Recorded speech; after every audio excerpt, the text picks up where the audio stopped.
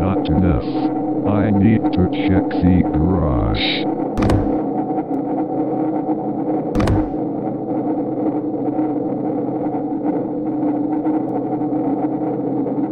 It's not big enough to hold him.